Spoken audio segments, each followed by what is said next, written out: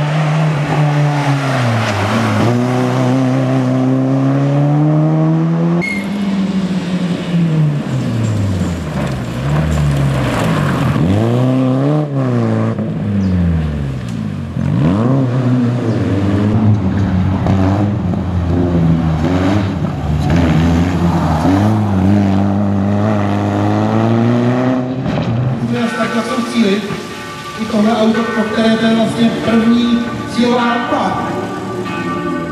Martin Klepáč a Koutěžický dovezli svého Peugeota, už jsme to mluvili vlastně v téměř z premiéře, protože to je první soutěž ujede asi 2 km. A teď je to první kompletní soutěž, jedna pro posádky, jedna pro to. Thank you.